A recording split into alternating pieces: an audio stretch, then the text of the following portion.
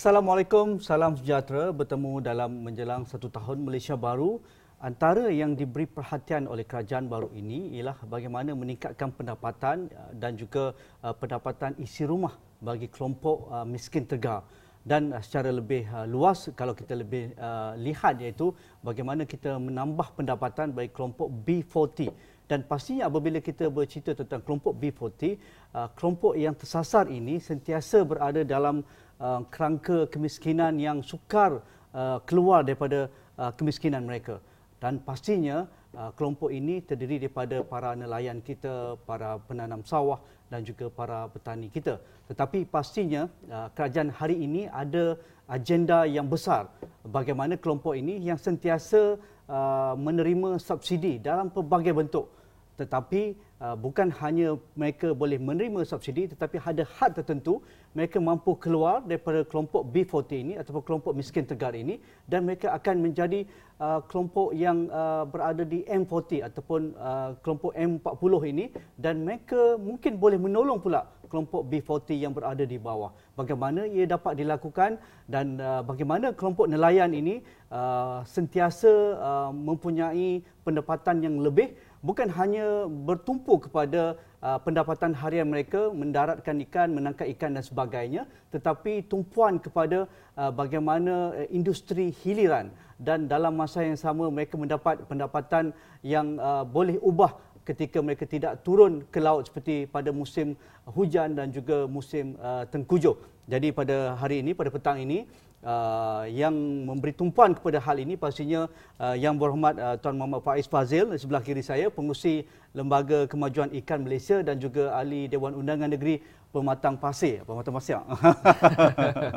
saya biasa bergurau dengan YB uh, Muhammad Faiz sebagai permulaan uh, dalam pengertian Malaysia baru pastinya YB melihat perjalanan karier YB sebagai ahli politik dan seolah-olah Uh, menjelma dalam situasi yang benar-benar berbeza selepas ya. 9 uh, Mei 2018. Tetapi uh, saya ingin melihat uh, dalam perjalanan karier politik berada di oposisi mungkin satu uh, satu barisan yang yang sentiasa uh, boleh memberi pandangan, protes, komen, kritikan dan sebagainya agak mudah. Ya. Tetapi ya. apabila sudah memasuki pejabat terutamanya apabila uh, berada di Lembaga Kemajuan Ikan Malaysia ni apa yang membezakan sebenarnya? Adakah suka sebenarnya nak jadi kerajaan ini? Adakah uh, untuk berinteraksi pula dengan kaki tangan awam uh, di di pejabat LKIM uh, bukan semudah yang kita sangka seperti mana kita berada di uh, barisan oposisi. Pandangan awal uh, Wabi Faiz macam mana? Uh, bagi saya ia satu cabaran yang uh, besar dalam hidup saya menang PRU ya. diberikan satu tanggungjawab yang besar untuk mempromosikan uh, sebuah agensi di bawah MOM yang uh, menjaga dan menguruskan stakeholders yang agak kritikal ya. iaitu nelayan. Uh, namun saya mendapat uh, sokongan dan kerjasama yang baik daripada kaki tangan uh, KIM termasuk daripada ketua pengarah hmm. uh, dan juga keseluruhan kaki tangan dan uh, ia bukan satu perkara yang uh, sukar bagi saya untuk berinteraksi dengan mereka. Hmm. Kerana mungkin pengalaman saya dahulu saya ada pejabat saya sendiri, ya. saya dah biasa hmm. Uh, dengan uh, management skill uh, dan alhamdulillah so far saya mendapat uh, sokongan dan juga kerjasama yang baik dan kaki tangan dan yang memudahkan uh, kerja kami dalam uh, mengubah uh, kehidupan nelayan ya. untuk memodenkan nelayan rejuvenasi hmm. industri perikanan ini, ini. Ya. dan uh, Ya walaupun uh, ia satu perkara yang baru dalam uh, Malaysia baru hari ini. Kita datang dengan satu agenda baru. Hmm. Kita nakkan uh, satu agenda perubahan dalam uh, negara. Jadi ia satu yang baru bukan saja kepada kami dari kalangan ahli politik, ya. tapi juga dari kalangan ahli birokrat, dari kalangan uh, itu kaki tangan kita kerajaan. Ya. Jadi ia memerlukan satu uh, masa yang uh, uh, yang sesuai untuk kedua-dua pihak ini untuk sinkronis. Ya. Uh, perubahan ini. Mm-hmm. Wabi Faiz, yeah. uh, kelompok ini begitu fragile, yeah. dia begitu uh, rapuh sebenarnya. Terkesan banyak perkara apabila berlakunya perubahan ekonomi global, uh, apabila permintaan ikan uh, semakin kurang, uh, apabila isu uh, climate change ataupun perubahan cuaca uh, melanda dunia dan pastinya jumlah uh, tangkapan semakin kurang akibat yeah, yeah. pencerobohan dan sebagainya dan kelompok ini juga sentiasa mengharapkan bantuan kerajaan. mereka diangkat sedikit, dikurangkan sedikit, mereka akan marah. Ya, ya, ya, dan saya rasa itu yang dilalui sekarang oleh ya, ya. YB Faiz. Tetapi nak ataupun tidak, perubahan perlu dilakukan dalam tunjak utama uh, oleh MOA, uh, Kementerian uh, Pertanian di bawah yang berhormat Saluddin Hayub sudah sudah memberikan satu uh, hala tuju yang jelas yeah. bahawa sektor ini tidak boleh leka lagi. Sektor ini hmm. tidak boleh tradisional sifatnya. Sektor yeah. ini tidak boleh uh, masih ditakut lama yang masih uh, ter, menutup ruang-ruang ketirisan, tidak ada governance yang bagus dan ya. sebagainya. Yeah. Bagaimana diharmonikan? Dalam masa yang sama terpaksa menjaga kelompok yang sensitif ini uh, perlu ada naratif yang baik untuk sentiasa bercakap dengan depa. Tapi dalam masa yang sama kita menyahut cabaran Malaysia baru ini. Mereka tidak boleh berada di takut lama. Mungkin mereka kena keluar dalam mungkin satu penggal uh, lima tahun akan datang. Mereka tak jadi orang miskin dah. Mereka bukan jadi nelayan biasa-biasa dah. Nelayan yang hebat dengan vessel yang bagus dan sebagainya. Pandangan Wawi tentang ini. Okey. Apa yang saya lakukan uh, sepanjang uh, tempoh 6-7 bulan saya mempengerusikan agensi uh, ikan, ikan ini, uh, KM saya turun ke bawah, uh, saya berjumpa dengan bukan saja kalangan LKM, berdialog dengan kalangan LKM, malah saya berjumpa dengan nelayan mm-hmm. dan berdialog dengan mereka.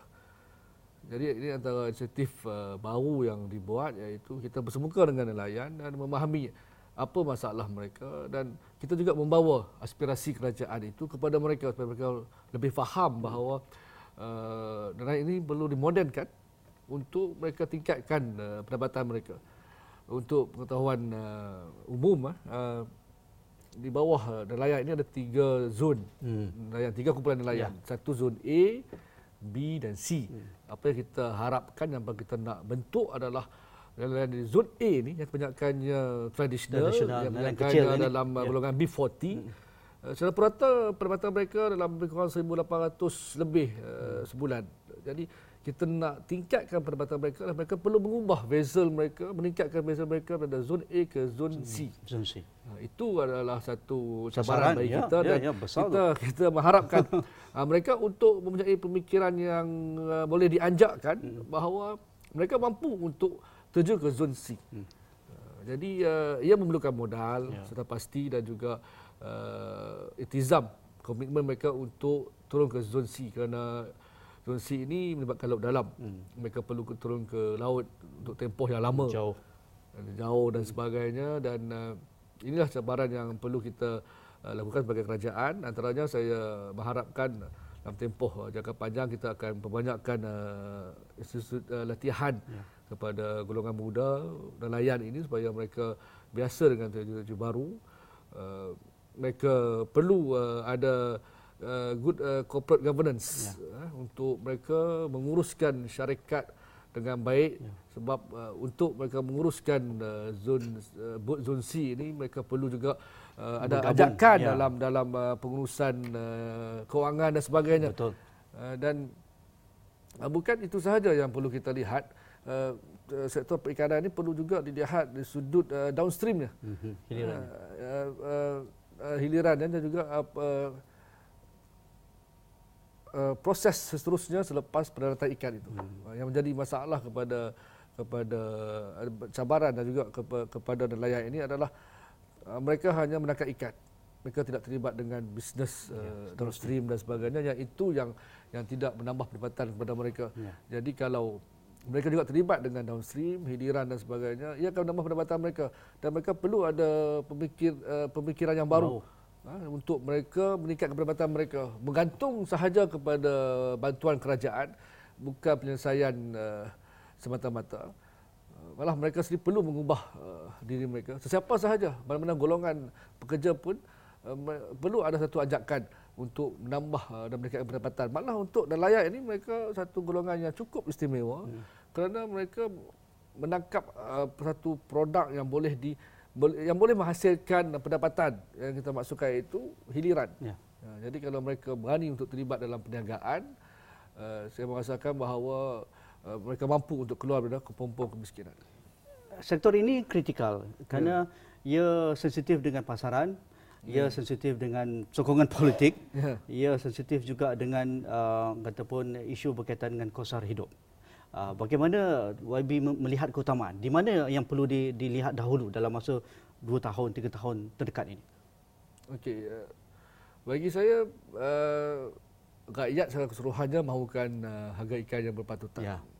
Jadi ini yang perlu Jadi diberikan tak ada, keutamaan. Tak ada timbul isu ikan kembung sekilo sekilo sekian sekian kan. Dia dia dia masalah dia yang uh, apabila kita meneliti secara mendalam ya. uh, perikanan ini uh, ia bergantung pada sumber ikan sebenarnya. Hmm. Sebagai contoh uh, ikan kembung. Ya. Sumbernya banyak di utara hmm. di di di Kedah. Gitu. Jadi di Kedah ini harga ikan kembung memang murah. Hmm.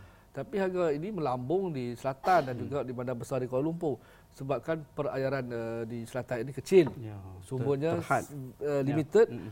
dan pendaratan ikan kembung begitu sedikit.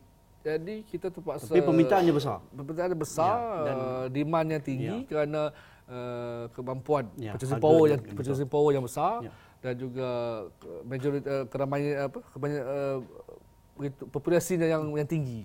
Jadi kita terpaksa ambil ikan daripada utara, daripada Terengganu, daripada Kuantan sebagainya. Itu yang menyebabkan kos yang menaik. Yang ini kita panggil chain of supply, ya. rantaian uh, pembekalan ikan itu. Dan ini yang perlu diatasi oleh pihak kerajaan bagaimana nak mengurangkan kos pembekalan yang akan memberikan uh, harga ikan yang munasabah ya. patutan kepada penduduk-penduduk di selatan dan juga di bandar besar.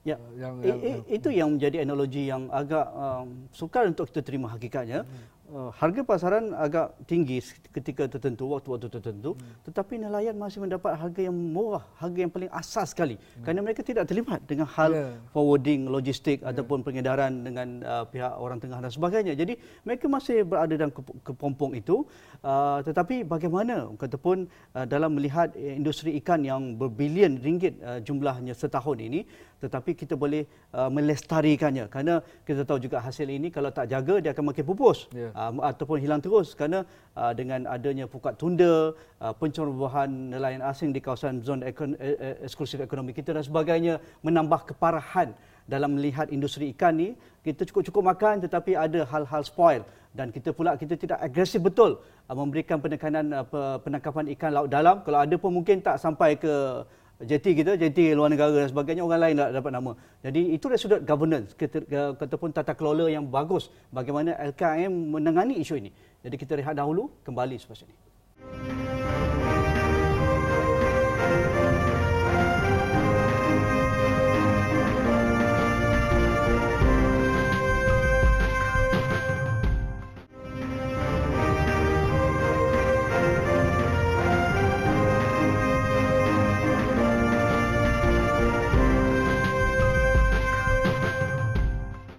Kembali dalam uh, sempena satu tahun Malaysia baru dan uh, pastinya isu yang begitu mendesak sekarang ini bagaimana memberikan kelegaan kepada kelompok yang begitu tertekan dengan uh, suasana ekonomi semasa uh, biarpun uh, kerajaan sekarang berusaha penuh uh, untuk membetulkan keadaan uh, situasi ekonomi dan sebagainya. Dan mungkin selepas satu tahun mereka akan melihat bagaimana dasar-dasar yang dijanjikan dalam buku harapan itu dapat ditunaikan. Itu janji dan juga apa yang diperkatakan yang amat berhormat Tuan Dr Mahathir Perdana Menteri Malaysia uh, YB Faiz Fazil yeah. YB dan juga rakan-rakan LKM berada di barisan hadapan. Yeah. sentiasa berinteraksi dengan para nelayan kita. Mereka marah ke mereka maki mereka cemuh ataupun mereka puji dan sebagainya itu paksa diterima. Tetapi sebagai Asam satu sebagai satu politik. agensi kerajaan yeah. uh, pastinya kita tidak boleh orang kata pun uh, berpuas hati yes. uh, dalam hal berkaitan dengan uh, industri ikan itu yeah. uh, pastinya kita ketahui industri kita ni tak, tidaklah sebesar mana tidaklah sekecil mana sedang-sedang elok je tetapi kita boleh potensinya dilipat gandakan Ah, dengan uh, kemajuan teknologi, penggunaan uh, pemodenan mesin dan sebagainya, uh, infrastruktur pendaratan, uh, uh, cold room dan sebagainya perlu diperhebatkan. Yeah. Saya rasa itu dalam pipeline yes, yes, yes. Uh, LKM. Tetapi untuk memberi satu justifikasi yang betul, apakah situasi uh, sektor perikanan kita? Adakah kita cukup kalau kita memberikan penekanan kepada para nelayan kita menangkap, mendaratkan kalau kita itu dapat dilakukan dengan baik tanpa ada ketirisan, kebocoran, cukup sebenarnya? Cukup. InsyaAllah cukup. Hmm kalau uh, nelayan uh, mempunyai satu ajakan dalam pemikiran mereka untuk uh, berubah daripada zon A ke ya. zon C hmm. dan juga uh, mereka juga uh, dalam uh, sudut ini kita menggalakkan satu nelayan untuk uh, involve dalam perniagaan. Ya. Jadi mereka sendiri yang akan menjadi uh, ada ada satu persatuan yang sudah berjaya sekarang yang kita boleh jadikan yang contoh. Contohnya yang, ada di Persatuan Nelayan Kuala Kedah. Ha. Mereka ada boat mereka sendiri. Hmm. Mereka ada vessel mereka sendiri, hmm. ada vessel C dan sebagainya. Uh, dan uh, mereka juga ada uh, uh, kompleks uh, uh, untuk IQF yeah. uh, ikan uh, ikan uh, frozen food uh, frozen beku. frozen yeah. ikan uh, sejuk beku ini dan ini yang yang akan menambah pendapatan mereka. Betul. Uh, ya, ini kalau di di uh, diterokai dan dicontohi lain, oleh satu ya. lain ia akan uh, memberikan satu impak kepada dan lain di seluruh negara hmm. yang uh, antara saya mendengar kalau Kedah setelah besut juga hmm. mengikut jejak langkah yang sama. Okay. Uh, jadi ada dua tiga nelayan yang begitu aktif yang bukan saja terlibat dengan uh, hunting aktiviti ini yeah. tapi mereka juga terlibat dalam downstream. perniagaan yeah. downstream. Ada ini yang uh, kita mahukan di peringkat uh, AKM. Samping itu untuk kita membantu dengan uh, tersi ini uh, zon A ini kita memperbanyakkan pasar nelayan hmm. uh, untuk terus, uh, terus uh, ya, memberikan mereka memasarkan. satu kemudahan di mana mereka boleh menjual produk mereka terus kepada pengguna, pengguna. dan mana pada masa yang sama pengguna juga mendapat uh, harga yang murah. Dan uh, tahun ini insyaallah kita akan membina lima buah uh, pasar nelayan baru dan uh, 28 uh, buah pasar nelayan akan di uh, upgrade untuk memberikan kemudahan lebih baik kepada pengguna juga kepada nelayan. Uh, dalam dalam dalam skala uh, peruntukan yang kecil 3 juta kita akan uh, memberikan tumpuan kepada pembinaan pasar nelayan. Yang ini akan membantu uh, secara tradisi. Namun apa yang kita harapkan untuk tempoh jangka panjang ialah nelayan berani hmm. untuk Cuba terlibat dalam ya. uh, industri uh, uh, perniagaan dan juga uh, vessel-vessel besar yang mana kita tahu hari ini masalah yang berlaku di perayaan kita adalah pencerobohan hmm. dan kita mengharapkan ada satu uh, mekanisme yang secara holistik diambil dan uh, untuk menangani masalah pencerobohan ini supaya hasil sum uh, perikanan ini kita dapat manfaatkan untuk uh, rakyat Malaysia. Kalau di Indonesia mereka mengebom meletupkan uh, penceroboh-penceroboh uh, mungkin itu boleh difikirkan oleh pihak uh, perkuasaan uh, ya. apa apakah mereka semua yang terbaik uh, tapi uh, jika ia dapat dibendung Betul. Uh, ini satu di mana DOF uh, me, me, dalam perakaan mereka statistik me, menunjukkan hampir 980 ribu tan metrik oh. ikan tiris setiap tahun yang yang berjumlah hampir 3 ke 6 bilion hmm. Uh, ringgit Malaysia. Saya rasa dengan jumlah sebegitu tinggi. Hmm. kalau didaratkan di Malaysia insya-Allah ia pasti akan memberikan uh, bekalan yang cukup kepada rakyat Malaysia. Tidak perlu kita mengimport ikan daripada luar. Bagaimana ini dapat dilakukan oleh uh, di bawah pimpinan uh, YB Muhammad Faiz dan sudut uh, tata kelola baik. Kerana uh, banyak uh, bantuan kerajaan terus kepada LKM di bawah MOA ini. Dan pastinya kalau di, di, dibelanjakan dengan cara yang betul dilakukan dengan cara yang betul kalau lesen itu diberikan mereka yang betul-betul berusaha untuk uh, menangkap ikan di laut dalam dapat didaratkan pastinya kita dapat selesaikan banyak perkara. Jadi bagaimana ini diberi penekanan di bawah pimpinan uh, YB Faiz? Ya. Untuk pengetahuan umum juga uh, di bawah MOA ini ada agensi lain yang menguruskan uh, perikanan ini iaitu Jabatan Perikanan. Hmm. Itu yang mereka yang menguruskan lesen hmm. vessel dan juga kad nelayan. Jadi uh, uh, jadi uh, urusan untuk lesen uh, vessel ini adalah urusan Jabatan Perikanan yeah. di luar uh, bidang kuasa LKM. LKM. Hmm. Jadi LKM hanya berfungsi untuk membantu mereka nelayan ini dalam sudut kebajikan mereka dan, dan juga meningkatkan uh, sosioekonomi mereka dan membantu mereka di sudut uh, kemudahan-kemudahan uh, tangkapan ikan uh, dana untuk uh, vessel dan sebagainya. Datanglah ke KM datang ke ya. kita ada dana termasuk untuk dana industri asas tani hmm. iaitu atau dalam bentuk uh, hiliran. Ya. kita juga ada bukan sekat dana malah bimbingan. Kita ada beberapa uh, usahawan-usahawan yang berjaya dalam hiliran. Hmm dan kita bantu. Ya. Uh, apabila bercerita tentang usahawan yang berjaya, saya masih teringat apabila kami bersama Agrobank turun ke bawah uh, melihat uh, agropreneur yang berjaya di Langkawi. Hmm. Uh, mereka mem- memberi penekanan kepada industri aquaculture. Yes, aquaculture exactly. ini satu industri yeah. yang belum dieksploitasi secara maksimum yeah. oleh uh, para nelayan kita. Kerana sedangkan demandnya begitu besar saya melihat depan mata saya sendiri bagaimana ikan dalam sangkar di di yeah, yeah. laut Langkawi itu yeah, yeah. dibawa terus uh, untuk dieksport ke Hong Kong oleh kapal Hong Kong datang yeah. tengah tengah laut itu dalam kolam mereka terus fresh untuk balik ke China dan juga Hong Kong sampai mereka rasa tak cukup mereka terpaksa berhenti lagi di Thailand sampai uh, berhenti di Aceh dan sebagainya sampai ke tahap itu kalau bayangkan kalau nelayan kita boleh mengubah sedikit pemikiran yeah, mereka yeah. kerana mereka mahir tentang laut mereka mahir tentang ikan-ikan sesuai yes, laut yes. tertentu dan sebagainya mereka tahu benih yang sesuai eh, ikan kerapu dan sebagainya bagaimana uh, dasar LKM kepada uh, industri aquaculture ini memang kita memberikan tumpuan juga kepada aquaculture. Kita ada banyak uh, sahabat-sahabat di bawah bimbingan kita yang terlibat aquaculture. Malah persatuan nelayan uh, di bawah Rekmat, yang di bawah, mana kata di bawah uh, seliaan ya. KM ni juga kita galakkan mereka terlibat dalam aquaculture. Sebagai contoh di uh, Pulau Tioman, hmm. kita galakkan uh, persatuan nelayan uh, Rompin uh, untuk terlibat diri, uh, ya. dalam uh, ikan dalam sangka, sangka hmm. dan mereka sekarang telah menternak ikan uh, ke, kerapu. Hmm, hebat. Jadi banyak lagi tempat-tempat lain yang uh, boleh kita sebut. Namun uh, itu antara langkah yang kita nak lakukan iaitu uh, mengajak nelayan mengubah pemikiran mereka bahawa uh, peluang ikan ini ya. bukan hanya pada hunting di laut ya, sahaja. Ya, ya. Apa yang perlu difikirkan adalah bagaimana nak meningkatkan pendapatan kita kalau aquaculture boleh memberikan pendapatan yang lumayan ya, yang lebih tidak? Ya. kenapa tidak kita ceburi hmm. aquaculture di samping kita tidak meninggalkan laut uh, laut ini hmm. uh, jadi maknanya kita, kita perlu diversify okey akhir sekali uh, uh, Faiz ya. rakyat sebenarnya tak boleh tunggu lama dan itu persepsi ya. di kalangan masyarakat sekarang mereka walaupun uh, uh, mereka tahu banyak perkara sudah pun dilakukan untuk menyenangkan rakyat orang pedagang nelayan dan sebagainya tetapi sebagai orang politik hmm. uh, bagaimana naratif ini perlu disampaikan kepada rakyat di bawah sana supaya mereka tidak menyalah anggap bahawa kerajaan ini tidak berfungsi tidak bergerak uh, flip flop dan sebagainya. Apa pandangan YB Faiz untuk itu? Satu minit.